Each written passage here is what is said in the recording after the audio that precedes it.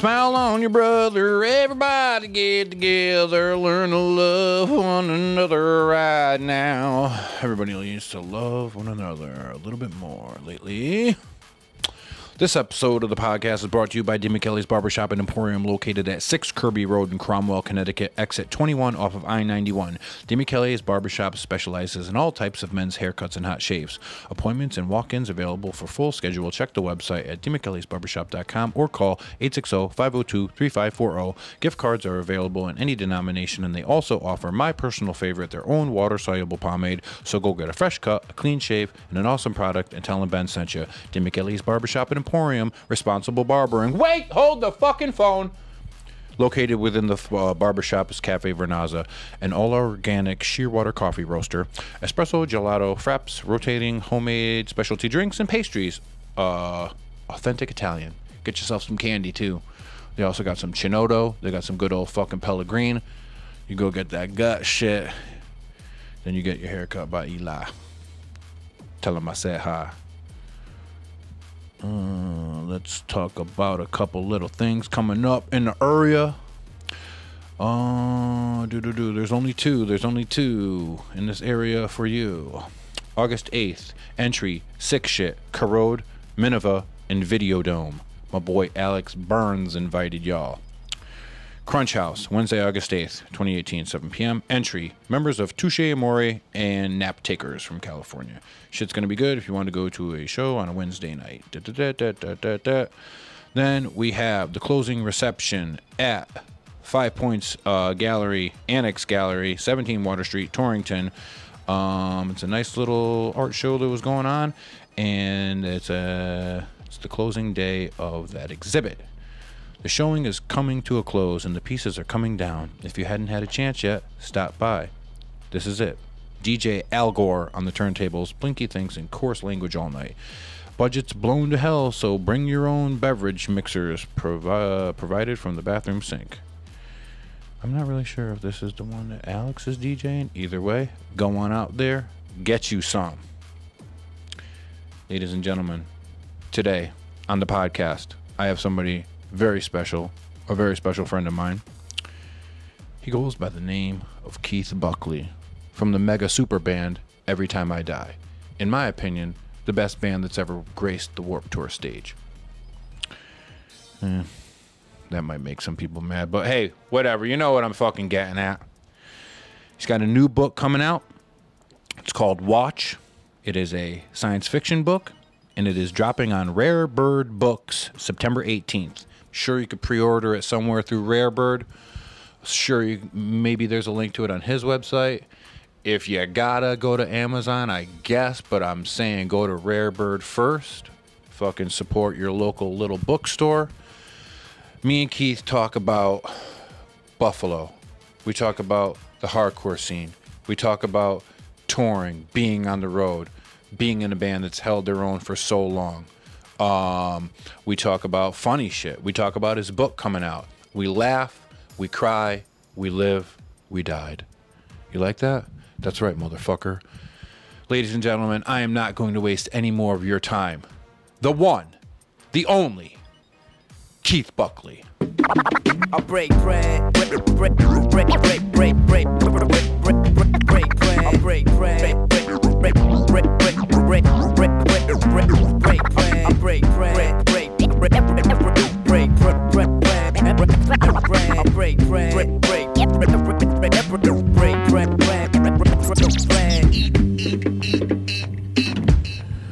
Chun chun chun chun chun chun chun chun chun chun chun chun.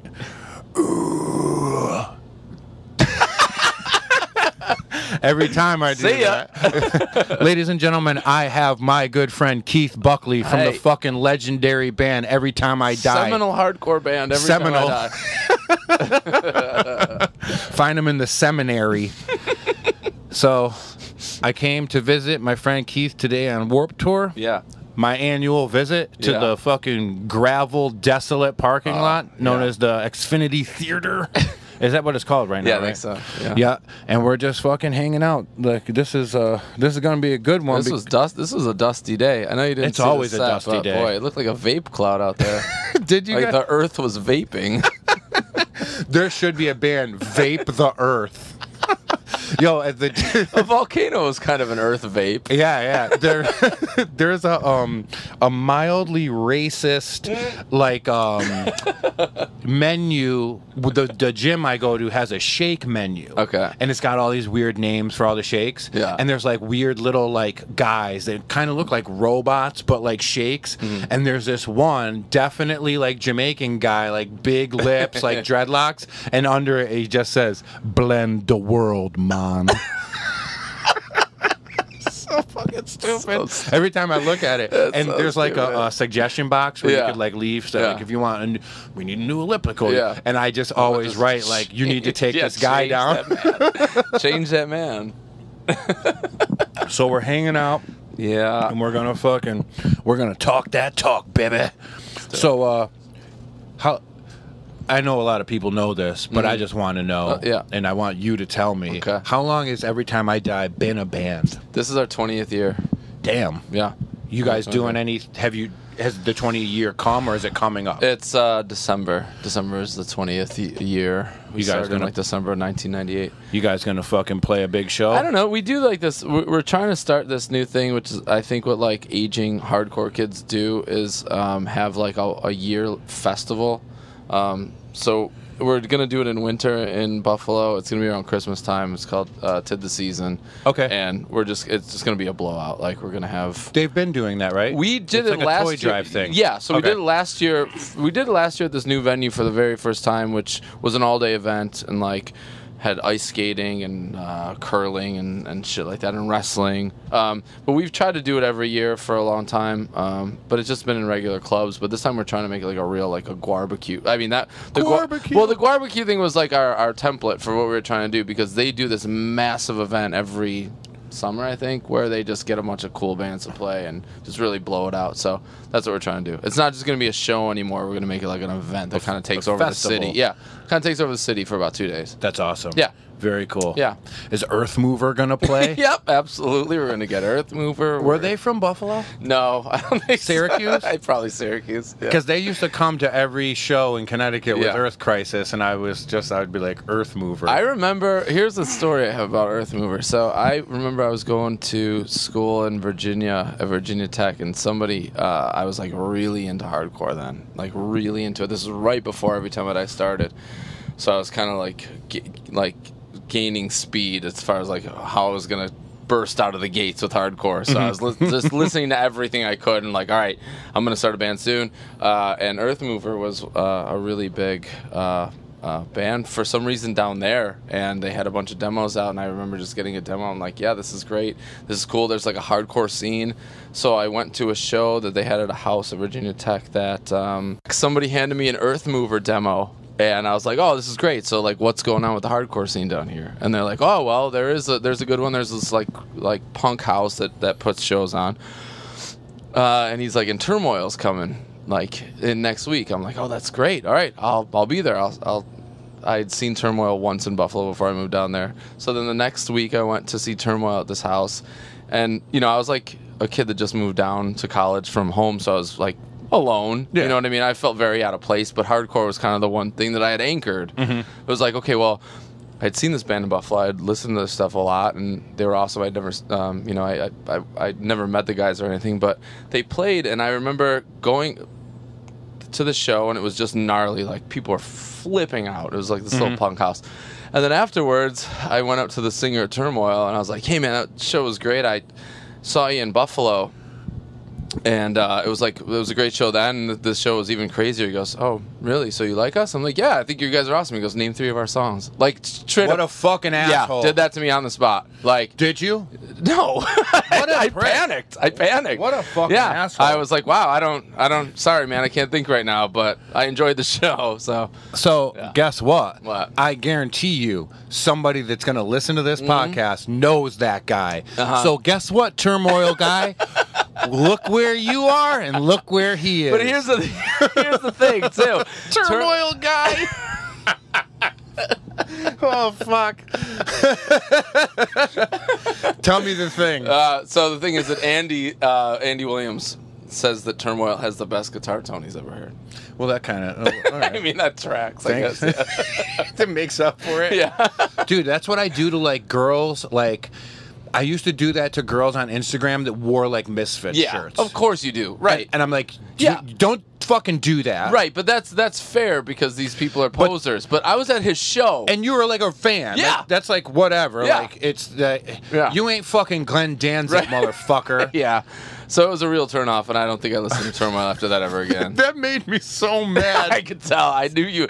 I know that you love things that make you mad like that. So that was a clutch story.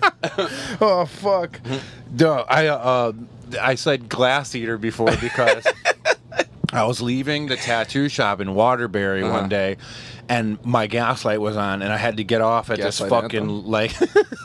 I had to get off at this like uh, this one that I'd never go to because it was like a Sunoco. There was like a dollar fucking more, but I Yeah. was like, "Fuck, it, I have to go." I get off, and there's like a van, like a of dudes touring. Yeah. and like they're like all standing outside the car, and I'm like uh, pumping gas, and I was like you guys in a band? And they're like, yeah. And the dude goes, want a CD? And I go, yeah. And he just hands me the CD, Glass Eater. And I was like, thanks, guys. I do. I will. That band, the singer of that band was like us when we were coming up. We used to we drove down to play like this Orlando Magic Fest in like 2001, and it was like the longest road trip we had taken at that point. And uh, I we, I remember playing that, and the singer of Glass Eater was like a fucking like scene celebrity. Like I, I, I you know. Buffalo's small, but like we had Scott Vogel, so that was kind of like my experience with like a, a larger than life sort of person in the scene of like when that dude comes to the shows, it's gonna be a good show, and if he moshes, then your band has fucking made it. Yeah, yeah. But when we got to Orlando and the, the dude Julio from Glass Eater, like he was like royalty. It was fucking crazy. I was like, this this is a weird. they're scene. from Orlando? I, I don't even know. They were just there. That's hanging funny. out, and he was treated like a celebrity. Yeah. so I've wanted that ever since. I love that Scott Vogel is like this, Uh, like, I mean, to me, he was verified. God. Yeah, verified. Yeah. verified. I love him. I love him. I, ha- I He was I here last Scott. year. I love Scott. No, two years ago. Two years ago, came. yeah. yeah. we shared the bus with him. That's right. Yeah. That's right. Yeah. I was just hanging out with Martine maybe a, uh, two months ago. We all went to see Satyricon at Gramercy. And uh, we had a good time. He's awesome. He's but he's very scary. he's dude. he scares me to death. Dude, he's one of the nicest. I people. know, but he still scares me because I know he's into like the dark arts and He's like so he, dark. He could just conjure up a spirit. I don't even like to talk to him about black metal anymore Yeah. because he's put me onto a lot of stuff. Yeah. But then I'll tell him like what I think is new and cool, and he'll be like, "Just fuck."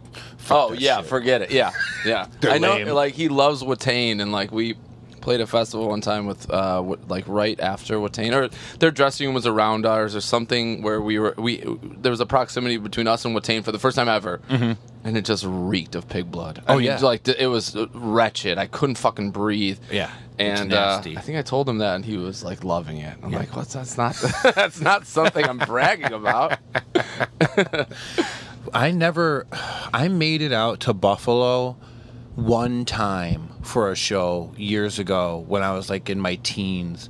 Did they ever do a Hellfest there, or was that always Always Syracuse? Syracuse, Maybe yeah. it was only Syracuse. Yeah. Boy, Syracuse is so. That was it. At that point in time, Yeah. at that height of like the oh my Earth God. crisis, dude. That, was yeah.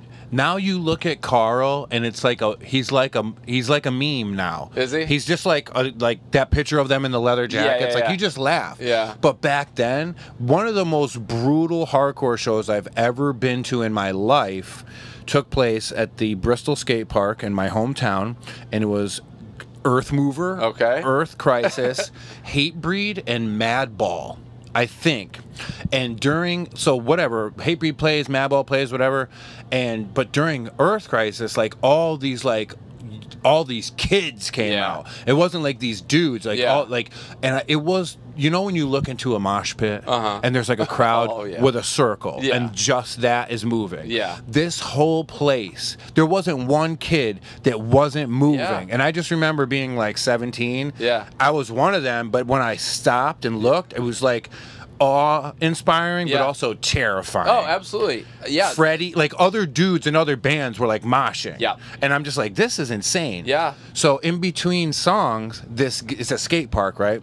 Some dude brought his kid to come skate, and he's just trashed, right? the guy's trashed, and he's like standing like in the middle of the uh in the middle of the the mosh pit Uh-huh. and he's like making eyes at Karl and Karl's like looking back at him and the dude takes a cigarette and puts it out in his own hand while he's like making eye contact with Karl and then you know what happened after that? Probably got beat up.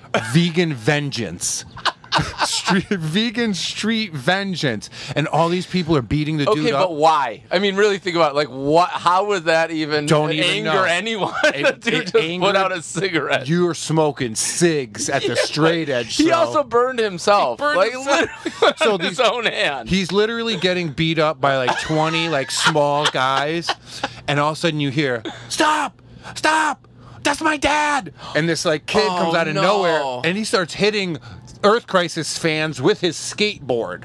this story ruled. Dude, it was ask Eric about I it. I can't he believe stood. this is- We we were basically holding on to each other because we were so terrified. I don't understand how you would be insulted by a guy putting out his cigarette in his like you want people to put out cigarettes if you're a straight edge band like put the cigarette You out put it out. yeah put it out put it out in your own hand is the is the best way to put it out that's crazy I Yeah. remember yeah I I uh like w- when I first got into heavy music I think my very first heavy concert was like Pantera Biohazard in like 1993 maybe Machine Head. yeah, probably. I don't remember that very well, but I specifically remember like wearing like a. I, I was just like a skater kid, and I I didn't really have any musical influence yet. I was kind of still on like my parents' resume as far as music goes. Yep. I was just listening to the shit they were listening to, but I was kind of starting to dress like the dudes around my neighborhood that skated.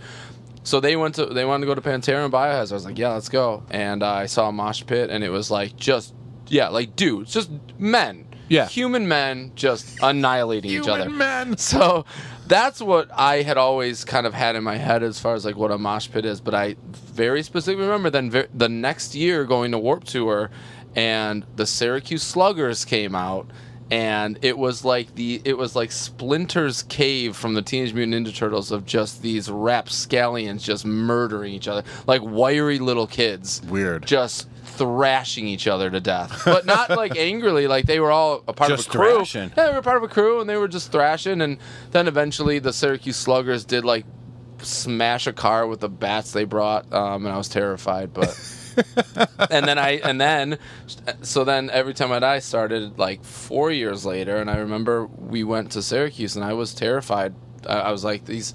All I know of Syracuse is that they're they're like dangerous, you know. Yeah. And they liked us for some reason, so I was like, man, that's cool. I'm in. I recently, maybe two years ago, bought a Cabal 315 Oh my shirt. god, I remember seeing those all over the place. because they yeah. like redid Yeah. them, and I got one, and it says like uh, on the back, it says like "fight the oppressor" or something. Oh, yeah. And I sent him a message. I go, "I need this shirt." Yeah. And he's like, "What size?" I was like, "Double X." Yeah. And he sends me an XL, and I like I hit him back. And I was like, "Dude, I said double X." He sent me another one. Shows up at your door with a gun. free of charge. yeah. So, I, I mean, I guess this is kind of a stupid question. I should probably know the answer. Was is that a band or was it the gang? It was like a group. It was like a straight edge crew. But was there was no band around? There- I don't think there was a band. because then like the um, Path of Resistance was like three different bands in one. I remember. Yeah. Uh, yeah. So yeah, it got confusing. I I didn't really know like just from Buffalo or we didn't have anything like that. I remember kind of. You know, this is before the internet, so I would just kind of hear Syracuse stories and know that there was like mm-hmm. bands and there were crews, and then some of them were joined, some of them weren't, and I just all I cared about was not getting murdered when we played there. It was like they were kind of like the courage crew of like that area. Yeah, yeah. Like just straight edge dudes who will fucking smash your head open. Totally, and I mean, man, that was And back cool. Yeah. now looking back on it, Yeah. I I respect it so much. Absolutely. I respect it so absolutely. much. I absolutely do too. Because I was straight edge for a long Me time. Me too. And then, you know, life took over. Yeah. But Yeah. motherfuckers are still Yeah. 50 years old, straight edge. fucking Good for them. Awesome. Absolutely. Yeah, it rules. Fucking I, uh, great. I have no problem with it. Uh, it was just very scary to me because, and then I remember we went to Salt Lake City. So, as far as I was concerned, uh, Syracuse is like the, the the hub of straight edge hardcore. Um, And th- then you went to Salt Lake then I City. went to Salt Lake City where I had heard that people actually were chopped in half with swords. Like, and I'm like, wow, this is they've upped the game out here. Um, but again, you know, you just, you know, I mean, all, it doesn't take anything more than just respecting the scene you're walking into. Oh, yeah. I mean, you know what I mean. You have know- to. Yeah, uh, great. matter where you are. Absolutely, totally fine. Like we're just some dudes from Buffalo that kind of like heavy metal and we kind of like hardcore and punk. We kind of like classic rock. So I didn't really think it was going to go over too well there. But as long as I wasn't a fucking dickhead about it, then everything would be cool. And it totally was. Oh, And yeah. we've always had great shows in Salt Lake City. Um, but then we toured there once with a band that wasn't cool, and they got the fuck shit beat out of them. It's like, man, it's not hard to just be cool. It's really not hard. I'm gonna Google that later. Yeah, I'll, I'll tell you who they are. I remember. Um, I remember. Uh, remember the compilation New York's Hardest. Was Black Train Jack on that?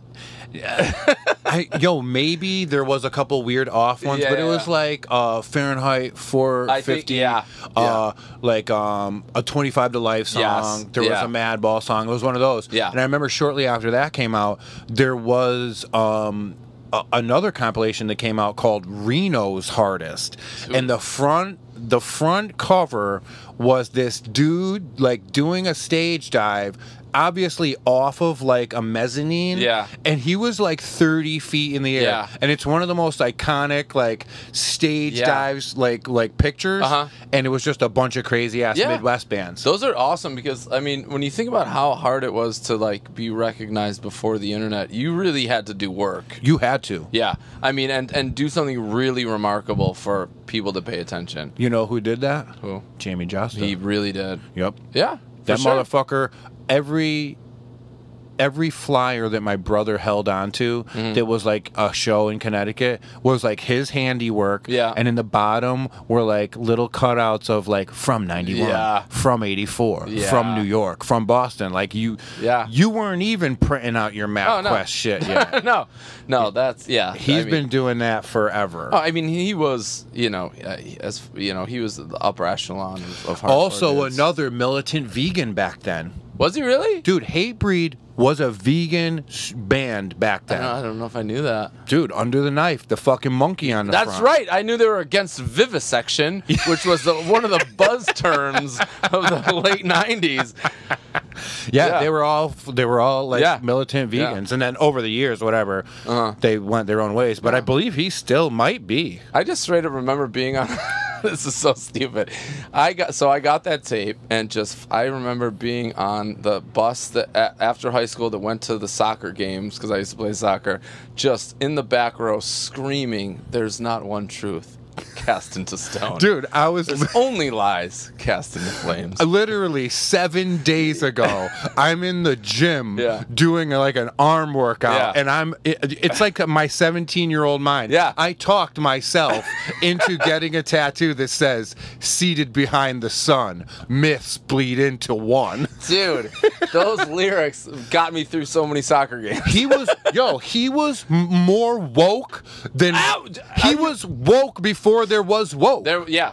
Like, you didn't he- even knew there was a woke, and, he, don't was already woke. It's like, where are you getting this content from, dude? You right. live in Bridgeport, and that's also the thing about that's the thing about Karl from Earth Crisis too. Like, dude, that used that dude was using words like anthropomorphic. Like, I was Yeah. like, what?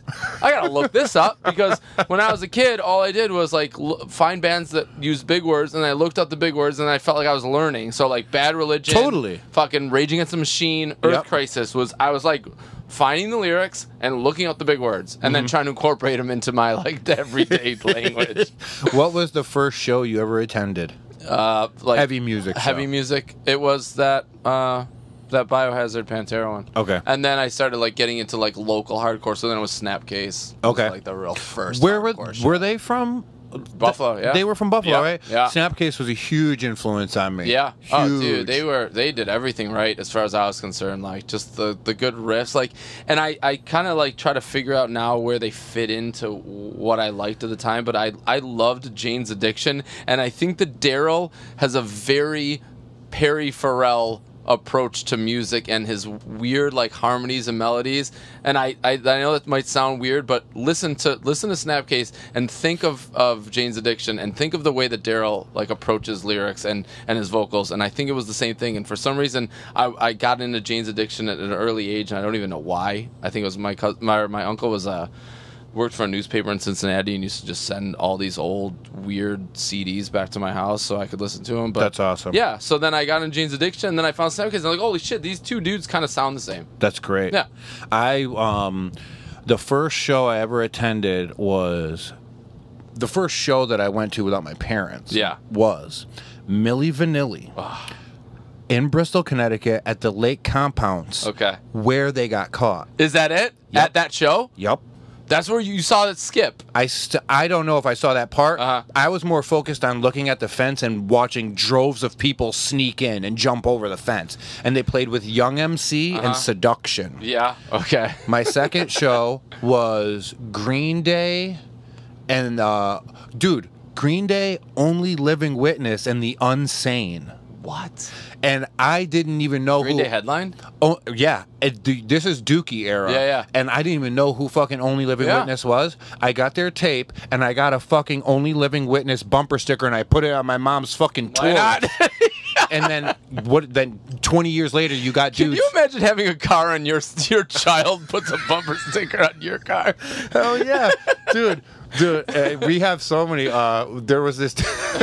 hold on, I'll finish that. Rem- ta- in your mind, remember bumper sticker. right. And then uh, the third show I went to was uh, a Madball and Hatebreed show at the Bike Exchange because I was walking home from detention Uh-huh. and fucking Psycho Jamey had st- stapled it onto the fucking. Uh, st- telephone pole Yeah. on the corner, and I took it off and I walked home, and then that was that. Dude, yeah. I mean, Jamey, he changed hardcore.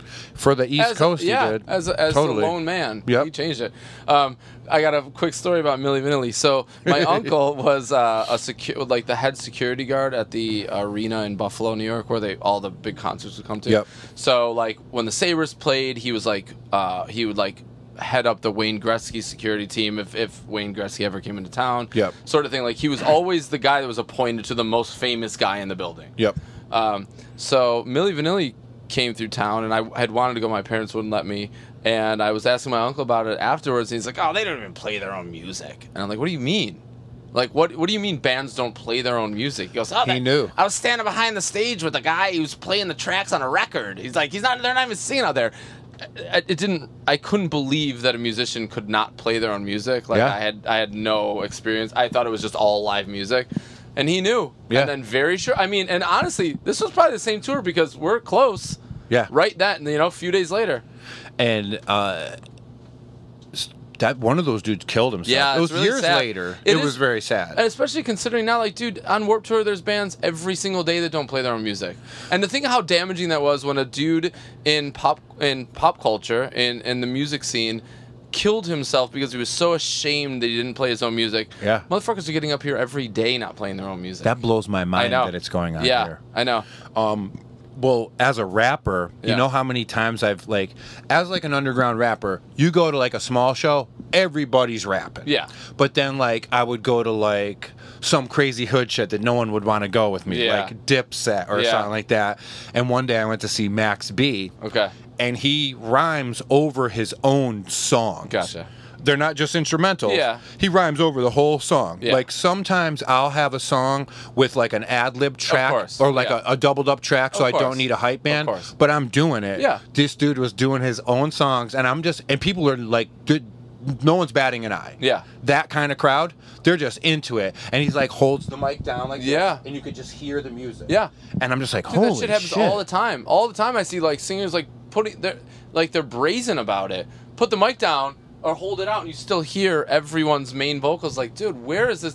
Do you not think? Are, are you even trying to fool anyone anymore, or are you just fucking cool with it? that's so strange to me and like people have to play like their guitars and shit like That's weird. They don't have to. That's They're so not plugged strange. in. They're not turned on. do they do? Is it is it more like bands that are doing a lot of like jumping around and shit like that? Eh, because like it's not even like I mean, dude, come on. We came up with like fucking Converge and Dillinger Escape Plan. I've seen bands You can do jump it. around. You Yeah. guys do You it. You can do it. You can play the instruments and jump around. Your same time. brother yeah. can play a Yeah. goddamn song while yeah. laying on underwater. Yeah. underwater. yeah. I mean, it doesn't. There's it- no excuse. There is no excuse. There's no fucking excuse. except for the fear of fucking up. But it's like, dude, the fucking up is punk rock and hardcore. You have to. You have to fuck up. That's how you get better. you know how bummed some of these young kids would be if they knew that? I don't even know, but that, dude, that's so weird. I don't know if they care. There are some out there that do. There's Yeah. some like hardcore, like music loving kids Yeah. that would be totally bummed. I know 90% of them wouldn't be. Yeah. But there's probably some, like a kid that plays guitar, like in his fucking room. He'd Yeah. be bummed to like know that like fucking Attila wasn't Right. playing their fucking And, guitars. and, and I mean, I totally get it. I, I, I would be too. It just it seems weird that that's kind of like the standard now. It's like it's just you you want the experience of the live show, but for me, the, the live show and the CD should be totally different Two worlds. different things. It should always be. Two it shouldn't things. sound the same. Never. No. It should never. You, you need to have the live experience, and that means fucking missed beats. That means missed notes. That means anything. It's just it's live. In It's- between song banter, right, dude, fucking crazy yeah, shit. It's live, and some of these people. I- And I'm not talking shit. It's just the, the state of the world. It's I what mean, happens. Yeah, it's just what it is. But you know, we try to keep it mixed up. We have like five different set lists on Warped Tour, so we're always playing different shit to every crowd. So. That's awesome. Yeah, I mean, You guys aren't playing the same thing every night. No. That's cool. No, That's Yeah, very cool. we'll fuck. Well, fuck, you got fucking 100 songs. Yeah, we, yeah. Son. We have an entire catalog. Yeah. That's so sick, dude. Yeah, That's but- awesome. yeah. You guys have been doing it for a while, and I really like like a band like you guys and like Hatebreed, like all these people that are hitting that 20 year mark. Like that shows like they're don't you never stop. And the only and what's crazy is that like it doesn't. It's not a gimmick that suspends your your your career. I mean, it doesn't. It doesn't. A gimmick doesn't carry you over decade after decade. It's honesty that does. Mm. Yep. I mean, really, if you look at the bands that are going for 20 years plus, it's the most realist dudes you've ever met. Yep. And you can say that about every single dude in every single band, whether you like him or not. You'd be like, hey, you know what? I, I might not like that music, but that dude has been real about that shit forever. And doing that as a job. Right, and just giving himself to it. So, Yep.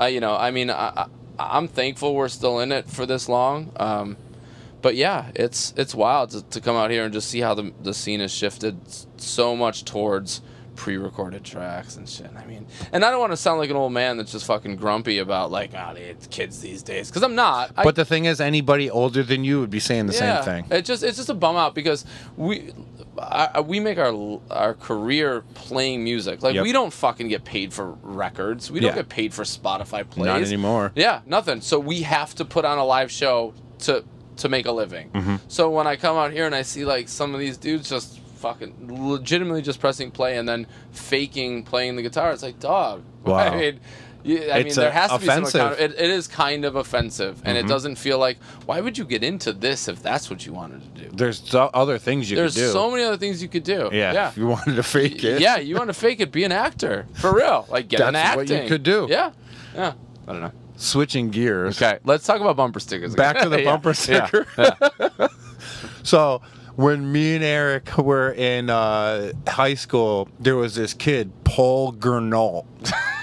that sounds like urban. Uh, what, what, uh, what was that fucking thing from Parks and Recreation where they said rural juror? Like you can't even. It just sounds like you're just slurring.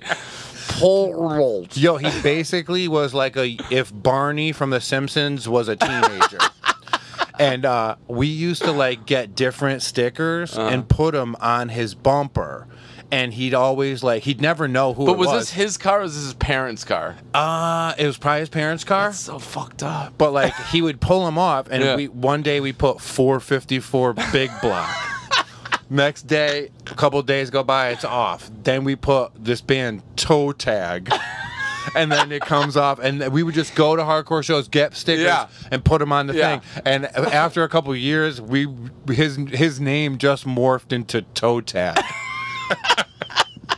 but now, like now that I'm a parent, now that I have a kid, I'm thinking about like if my daughter's friends were putting bumper stickers on my fucking car, I would be livid. But there would be Livid. something if there were bands. Uh-huh. you're, there would be something inside you that would Of be like, course, yeah, wow, like, yeah. this is me. But you also just even like think about like throwing parties at your parents' house where Oh. you just straight up acted like it was your shit. Like, I- all this shit is my shit. But Dude. it's not, it's your parents' shit. I remember doing that shit, and now as like an adult, Yeah. I'm like, I'm lucky my parents didn't kill me. I can't believe I would kill a child. Ab- I, absolutely. Absolutely. Strangle him Homer Simpson, uh, My- Bart Simpson style. My brother had a really huge party at my parents' house one time when I wasn't there. Yeah. And it was like he cleaned up really well Yeah. and he never got in trouble. But I remember going to high school parties where shit like that happened and it was like a wrestling fucking Yes, like like WWF Yeah. wrestling. yeah. I saw Yeah. a kid go right through a sheetrock wall one time. And it was probably the parents' house that just had Yep. no idea. They just trusted the kid. No, It's- I- I makes s- me insane to think about. Yeah, you have something to think about. Yeah, to know that like one day my house might be infiltrated by teens just kissing each other and uh, trying to drink my alcohol. Dude, I saw a kid one time drop a bowling ball on a toilet bowl. and then uh, one oh, so here's a good story. My father turned 40, Uh-huh. and somebody gave him a, a liter of Beefeater gin. Ah, it's good stuff. so all the stuff that was in the liquor cabinet Yeah. over the years, if it was clear, it got put water in it. Ugh. And if it was brown, we put iced tea mix Also, in it. how stupid do you have to be as a parent, as a as a hu- as a as a, an adult? You gotta lock your shit up. Yeah, but all like I I value alcohol. Yeah. Uh, you know what I mean. So I know when shit tastes off. Yeah. That would never fool me in a million years, and Nope. I I did it to at least thirty five different set of parents, and never got caught. How do they not know? Yeah. How do they not know? So I took the Beefeater gin and I went to a party and whatever. I ended up getting fucked up. And over the years, we took the Crown Royal. Uh-huh. We put iced tea in it. So we're like just before I moved out. Yeah. Matt's like 16 and I'm like 18. Yeah. And it's like a New Year's Eve and my uncle is like hanging out with my dad. The family's over. And they never drank the liquor. That's why it was always there. My dad Yeah. drank beer and shit. Yeah. So I hear somebody go, "Who wants to do a shot?" And I look at my brother and I'm like, "Fuck." So there's like, there's probably like six year old Lipton iced tea in this fucking No longer brisk. not at all. No, in this fucking this bottle, and my brother just looks at me and he's like, "Fuck." And uh, my dad brings it out, and as he's walking by me, I can see like A difference in. no, like fungus Oh, floating in Oh it. my god! Like this has been in se- it's six summers Yeah. of hot, cold, hot, cold. There's definitely something growing Of in course, it. yeah. And I'm just like, oh my god, what are we gonna do? And I thought maybe my brother would like jump up and be like, Dad, no. Yeah. But we just let him do it, and he pours a shot for him. He pours a shot for my uncle. They they're Italian, so salute. Uh-huh. And then I just see my dad throw it back, and then he just goes. And he blows it all over the wall and just looks right at me ah. and my brother, and we took off. Dude. We ran, but the funny thing is, my aunt, my mother, my grandmother dying. Yeah. Dying Yeah. laughing. And they I don't even remember getting in trouble. I, I can't believe. Yeah, I I mean that's so perfect because I we used to do that to parents all the time, and I've never heard anything about anyone catching us. And it may, I wonder if maybe like they were embarrassed, so they didn't say anything that they left their liquor cabinet. you got to figure like I'm dumb enough. I did this yeah. to myself. Yeah, yeah, yeah. You kind of have to take responsibility for it, but man, that is so clutch because, dude, I, we did that all the time. Like those those blue, uh, like a blue Hawaii. There used to be this weird. I don't even know what kind of alcohol. It was just blue. Yep. And then we, in order to um, refill it, because we knew there was this girl that used to have parties after school because her parents were not home from. 3:20 to 6:30. Yeah. So school got out, we would go over to her house all the time. So um, we kind of got used to knowing what was there and what was available to us and what wasn't. And I didn't drink at that time, but I remember they had this thing of blue Hawaiian or blue Curacao or something. Blue carousel. That's whatever that. Yeah. Yep. And so there was a rumor going around school that if you went to her party, you had to bring a blue like otter pop thing. Yeah. To refill it. So it was the same color. Yeah, yeah. So people were like getting it to just in preparation to his birthday, just to have like a sip of this terrible vodka or whatever. it was- yeah, that they were gonna refill.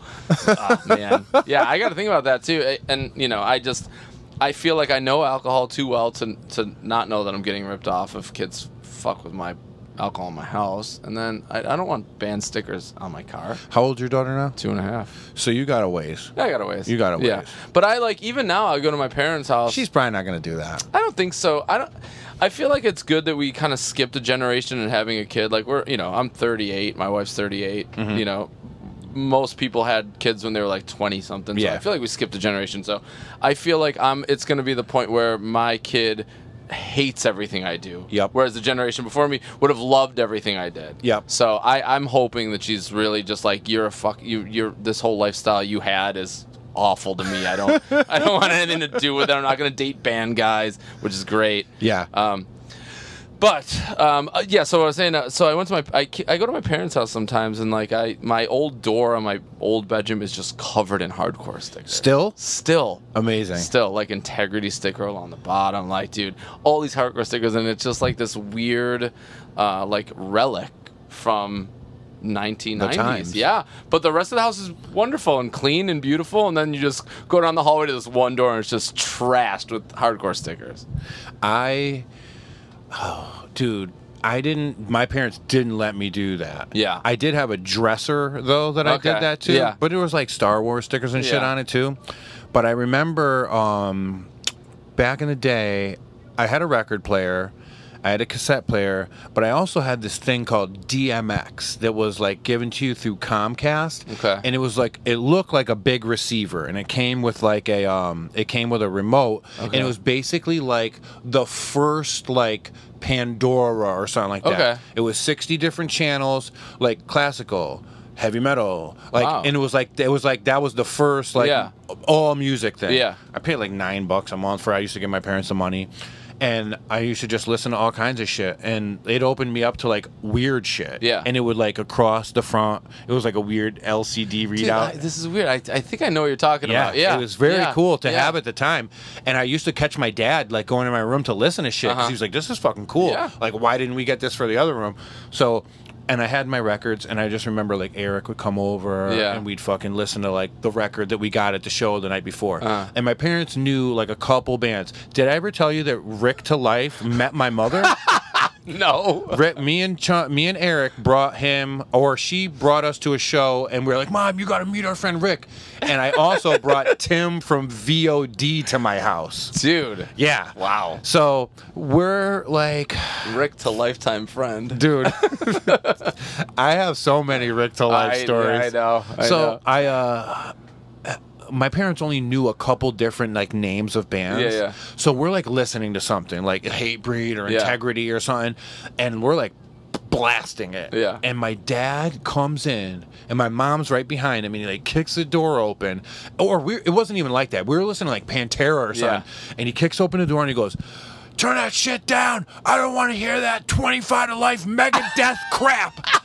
And we both look at him like, yo, we don't even listen to Megadeth. Like, how dare you? How dare you? fucking-" I'd be offended by that still today. Eric was so offended. 25 to life Megadeth crap. That rules. Fuck. Oh, what the fuck? I remember I got a couple good to Rick Ta Life stories. Oh my god. I mean, there's just Eric has told me He was a good dude at one point. Was he? He was a real good dude. Is it was he, very okay, weird. was he the one that um was there like a video flown around the internet a few years ago of him playing like a party where he actually had like the background track?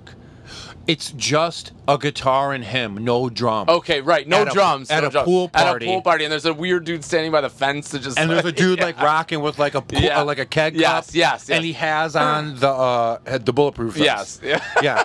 Uh, dude, uh, what the fuck?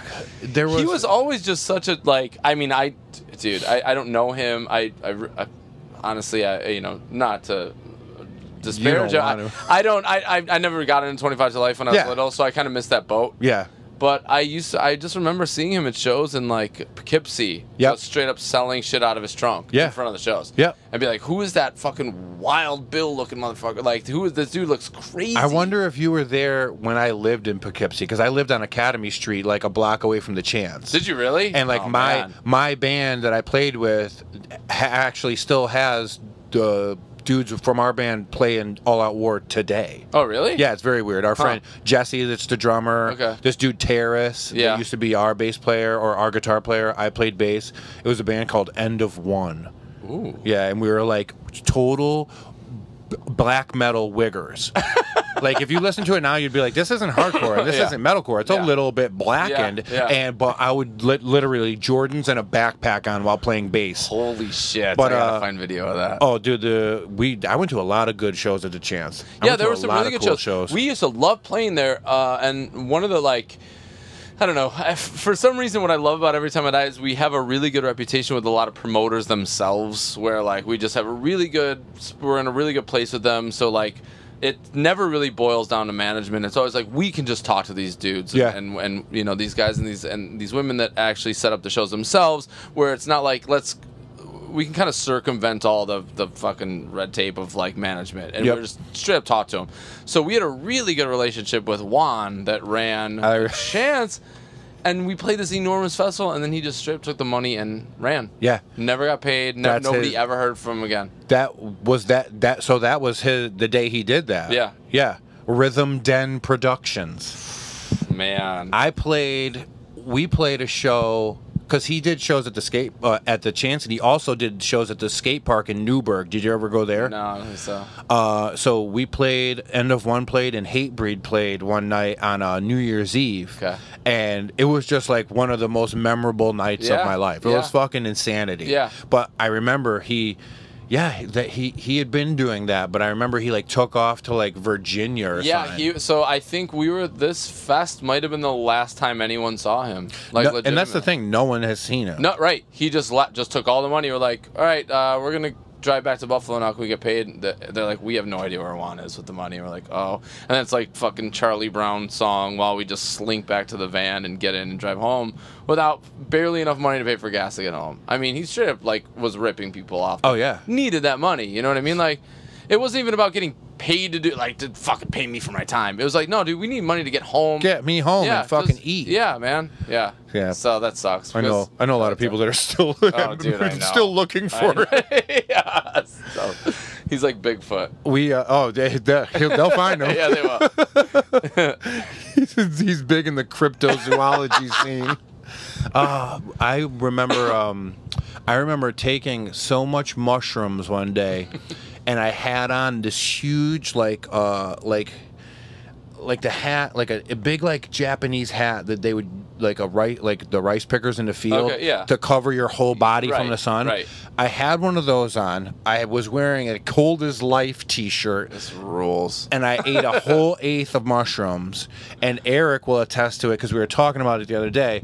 He puked, and I moshed so hard that my limbs were literally like coming out of my, my, my I could have hurt myself. And one of the bouncers just was like, I wasn't even hitting people. I was moshing in the air by myself. And he thought this kid has to leave because he's so crazy right now during Section 8. Section 8 was probably my favorite band for like a summer. Yeah. And he like threw me Oh outside. my God. And I like landed on the You fucking like uh fire escape and then I just had to sit outside for like hours You and waiting Eric for need people. to do a podcast together. I wish, dude. I mean, you guys, your he banter would be so between bad. the two of us, Yeah. like that whole era. Yeah. Like we saw so much. We saw a lot, but we saw the comedy in it. Yeah, yeah, of course. Yeah. Here's a good one. Hundredfold, Okay. Dog Eat Dog, Uh-huh. 25 to Life, and some other bands at this place called the Globe in Norwalk. Nor where's Norwalk? Like down, uh, like the little leg of Connecticut Okay. going into the city. Okay. being a teenager, some like 30 year old dude punched my brother in the face. And we like swarmed him and it went outside. Yeah. So we had like friends with us that were older and they weren't going to let anything happen to us. But this was some dude that was like at the bar. Yeah. And he like busted my brother's face open and we were like ready to go. So Rick Ta Life is with us, and he's Wow. like, "Yo, we gonna kill these motherfuckers." And so we, me, Boulder, like everybody Yeah. from Hatebreed, him, a bunch of other dudes we know. There's a tight alleyway, and we see the guy walking, and he goes to this bar that's down the alley, and we're all waiting for him. Dude, there's like 30 of us. Yeah. He comes back out with these two guys, and they open up a trunk of a car, and you know what he pulls out? A Oh. Rick Ta Life demo. a garden weasel. and another one, there was like gardening equipment. So a garden weasel, a hoe, and a shovel. And here they come at us. And everybody's like, all right, I'm down to like have some like hardcore vengeance, but I'm not trying to get hit Right. with a shovel. And Rick was like at the head of it. And everybody turns around to like go through the alleyway, Yeah. but they're like bottlenecking. It's like the running of the bulls. And you know what Rick did?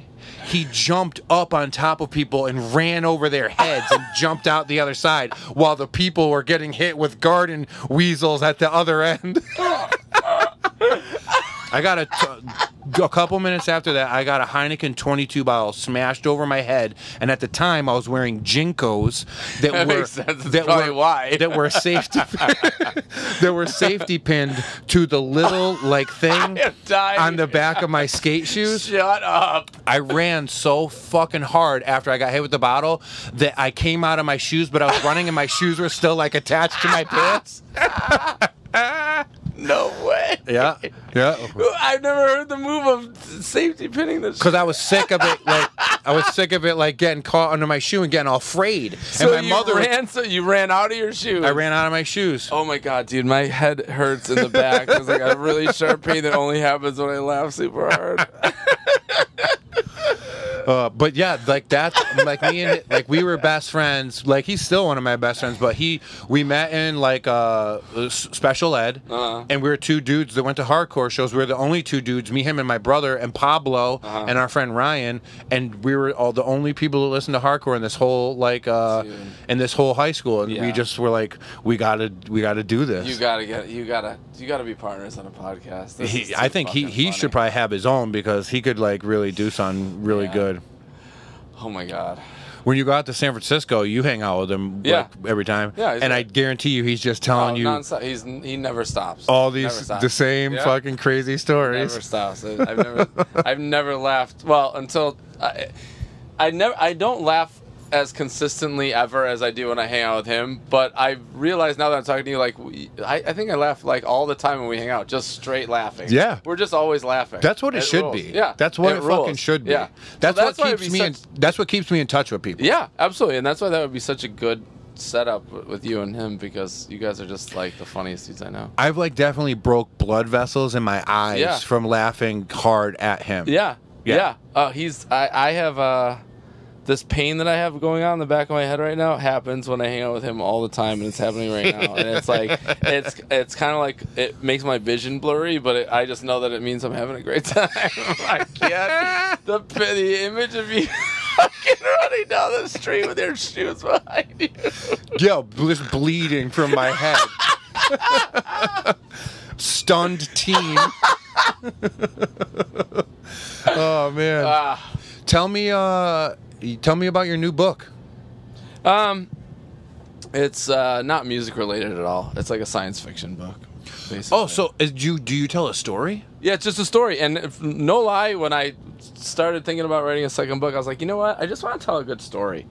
Um, so I invented a story about a dude that um, he's kind of uh, he's a younger dude, but he's like suffered tremendous loss in his life, and it's it's the year is 1987, and uh, he lives in Buffalo, and he just wants to get to the bar to have a drink, and he gets stuck in a snowstorm, and he ends up in, encountering all these ghosts and running upon these scenarios that he had tried to put behind him, and he's forced to face them um, before any, any any there's any sort of resolution. So, uh, yeah, it's it's it's not as long as scale. I think it's like hundred pages shorter. Uh, it's not music related, so um, What's the name? it's called Watch.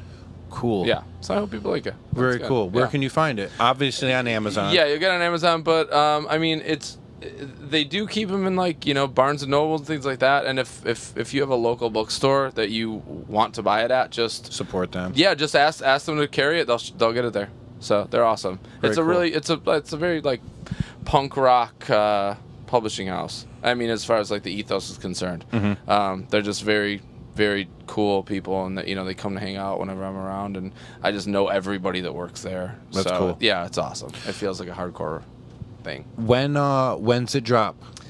So they're gonna start shipping in late September. Um, but if you've pre-ordered it, if you pre-order it now, you'll get like this limited edition enamel pin of the cover, uh, and then uh, uh, we're we're trying to do this new thing where they're shipping out also um, lyric books of the low teens lyrics. Um, but they're it's just kind of put into more of like a poetic format, I guess it would be. It, it would be like it reads like a book of poetry. Um, Cool. Yeah, which is neat, and I think you know that they're trying to emphasize the fact that like the lyric or the the writers um, uh, and the lyricists that are on their uh, on their roster that write lyrics. They, you know they want to treat them as actual literature, so it's cool because when you format it like that, it, it reads differently. Anything anybody sells with an extra little like Totally, auxiliary Of course. collectible. you gotta have bonus content. Yeah, like you gotta have bonus content. dudes that do CDs or like tapes with like you can get the fucking album on Yeah. a weird fucking little Yeah. like a like a zip like a flash drive that's got like something on it Right. like Yeah. stuff like that. That's that's what you have to do. You have to do it now. It's becoming that way. It's like you just you need some sort of collectible item. Yep. You know that that makes you feel exclusive, and you know so that- That's cool. Yeah, it's cool. Very cool. I can't yeah, wait. I'll read that. thanks, homie. Yeah, because so- I love you know me.